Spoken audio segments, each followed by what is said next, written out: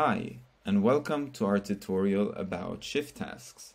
Shift Tasks is a great tool for managers who are looking to oversee execution for specific tasks that are attached to specific shifts.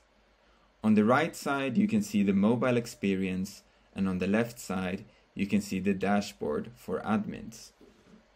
To create a task, start by creating a new shift, fill out the information for the shift, and on the top, you can find the shift tasks. To add a new task, click on Add New Task and fill out the information.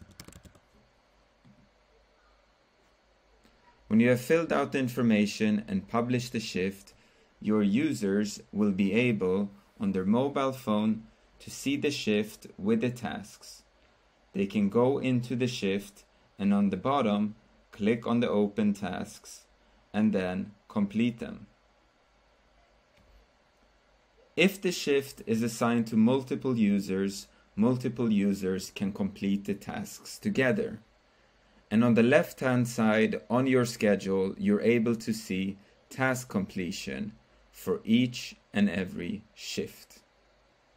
Of course, we also give you the ability that when the tasks have been completed to get notified so that you can always stay on top of things.